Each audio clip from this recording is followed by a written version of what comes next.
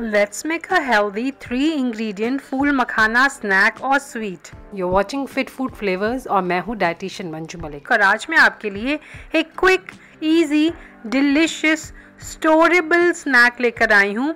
मैं इसके पाँच वर्जन्स आपको दिखाऊँगी। बहुत ही फन वर्जन्स हैं and they all are super nutritious ये बच्चों के लिए भी बेस्ट स्नैक्स हो सकते हैं as well as for adult तो चलिए बनाना शुरू करते हैं।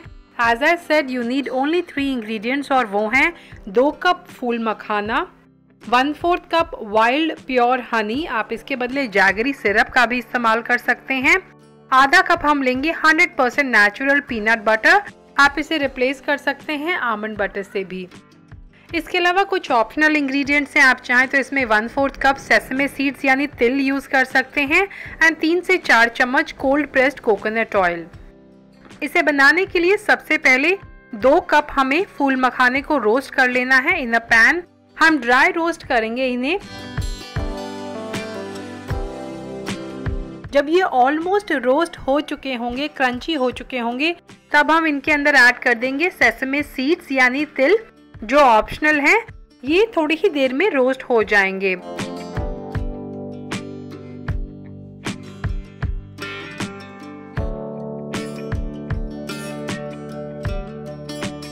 अब इस मिक्सचर को, यानी तिल और मखाने के मिक्सचर को हम ग्राइंड करके इसका एक पाउडर तैयार कर लेंगे।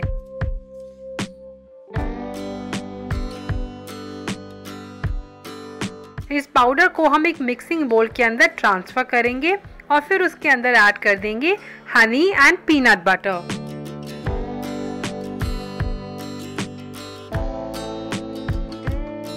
दोनों चीज़ों को अच्छी तरह से मिक्स करेंगे। पहले मैंने स्पून से मिक्स किया और अब अपने हैंड से मैं इसे मिक्स करके इसका डो तैयार कर लूँगी। तो डो जैसा हमें स्ट्रक्चर बनाना है, पूरी तरह से गूदना नहीं है, यानी इसे नीड नहीं करना है हमें। अब मैं इसे रफली डिवाइड कर रही हूँ फोर इक्वल पार्ट्स के अंदर, क्योंकि हम इसके अलग अलग वर्जन्स बनाएँगे। तो अलग अलग इसके वर्जन बनाने के लिए हमें चाहिए अलग अलग फ्लेवर तो इसके लिए मैं बहुत ही न्यूट्रिशियस इंग्रेडिएंट्स यूज़ कर रही हूँ। तो मेरा पहला जो वर्जन है, वो है कैंडी लव इसका नाम सिर्फ़ कैंडी है because it is bright red but ये बहुत ही हेल्दी है क्योंकि हम इसमें इस्तेमाल कर रहे हैं one tablespoon of beetroot powder तो बीटरूट पाउडर मैंने डो में मिक्स कर दिया है और साथ ही इसे अच्छी तरह से मिक्स करने के लिए मैं इसमें कोल्ड प्रेस्ड कोकोनट ऑयल का इस्तेमाल कर रही हूँ। आप देसी घी का भी इस्तेमाल कर सकते हैं। एक से दो चम्मच हमें चाहिए। इसे नाइसली हम कंबाइन कर देंगे। ये मेरे बच्चों का सबसे फेवरेट वर्जन है ऑफ़ दिस रेसिपी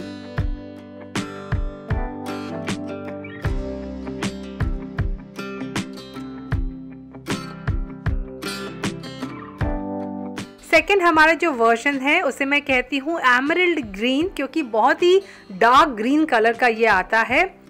और इसे ग्रीन कलर देने के लिए मैं ऐड कर रही हूँ बोल के अंदर one tablespoon of moringa powder तो हमें डो में उसे मिक्स करना है, साथ ही ऐड कर दिया है one teaspoon of cold press coconut oil इसे अच्छी तरह से हम कंबाइन कर लेंगे।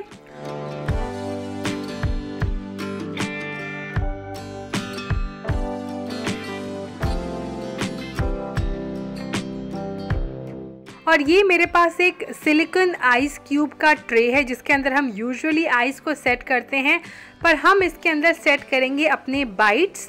तो हमें छोटे छोटे फिस्ट साइज़ के लड्डू बनाने हैं और इस मिक्सचर को ऐड कर देना है इस ट्रे के अंदर। तो कैविटीज़ को मैंने फिल कर दिया है। डोंट वरी, अगर आपके पास ये नहीं है तो आप इसके लड्डू बना सकते हैं या फिर इसे छोटी सी ट्रे के अंदर सेट कर सकते हैं, थाली के अंदर सेट कर सकते हैं और इन्हें कट कर सकते हैं। This version is highly nutritious हम सबको पता है, मैं काफ़ी बार इस पर वीडियो बना चुकी हूँ। हाउ न्यूट्रिशियस मोरिंगा इज़ इसके अंदर आयन होता है कैल्शियम होता है। बहुत सारे इलेक्ट्रोलाइट मिनरल्स होते हैं इसके अंदर। It is one of the most nutritious super green available on this earth moringa के पेड़ को मैजिकल ट्री भी कहा जाता है। इसे ट्री ऑफ़ लाइफ भी कहा जाता है। इस जो वर्जन का फ्लेवर है, वो काफ़ी अर्थी एंड रॉ है। तो मुझे अच्छा लगता है बट बच्चों को शायद इतना पसंद ना आए। लेकिन इससे अगला वर्जन उन्हें ज़रूर पसंद आएगा। हमारा जो थर्ड वर्जन है, वो है चोको ट्रीट तो इसके लिए मैं one tablespoon of unsweetened cocoa powder add कर रही हूँ डो के अंदर। और उसे मैं मिक्स करूँगी again one teaspoon of cold pressed coconut oil से। इसे कंबाइन कर देंगे।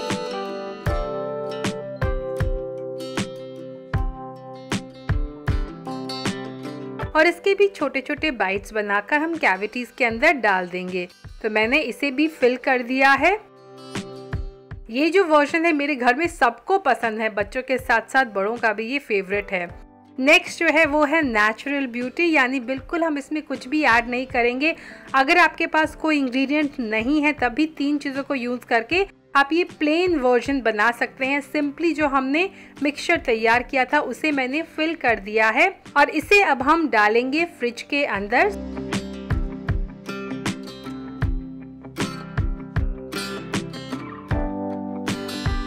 I am popping it into the fridge इसे रेफ्रिजरेट नहीं करना है फ्रीज़र में नहीं रखना है। इसे हम नॉर्मल फ्रिज में रखेंगे मिनिमम 40 मिनट्स टू 4 आवर्स के लिए।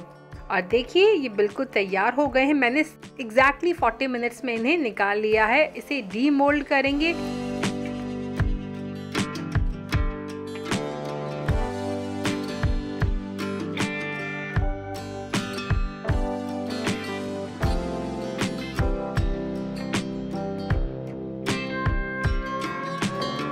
And look how beautiful they look इन्हें आप बर्फ़ी कह सकते हैं बाइट्स कह सकते हैं मिनी बार्स कह सकते हैं आप इन्हें स्नैक्स में तो इन्जॉय कर ही सकते हैं लेकिन अगर आपको स्वीट टूथ है या फिर आप फेस्टिव सीज़न में एक मिठाई की रेसिपी ढूंढ रहे हैं जो बहुत ही आसान है बिना किसी हैसल और एफर्ट के आप बना सकते हैं देन आई हाईली रिकमेंड कि आप इसे ज़रूर ट्राई करें If you want to impress your guests during the festive season, then this can be your go-to recipe. आप इन्हें स्टोर भी कर सकते हैं, लेकिन इन्हें रूम टेम्परेचर पे स्टोर ना कीजिएगा, क्योंकि अभी भी वेदर थोड़ा वार्म एंड ह्यूमिड है सर्दियों में आप इन्हें रूम टेम्परेचर पे रख सकते हैं, लेकिन during this weather and during summers आप इन्हें फ्रिज में स्टोर करें, आप इन्हें स्टोर कर सकते हैं for up to ten days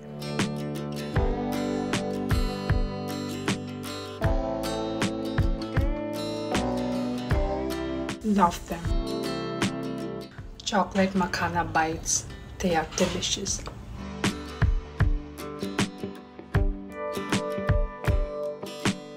I just love them. So, I hope you like this recipe. Easy recipe है. ज़रूर ट्राई कीजिएगा. ट्राई करते हैं तो अपना फीडबैक मेरे साथ शेयर करना ना भूलेगा. थैंक्स फॉर वॉचिंग आज के लिए इतना ही. Stay healthy stay fit stay active and stay tuned bye bye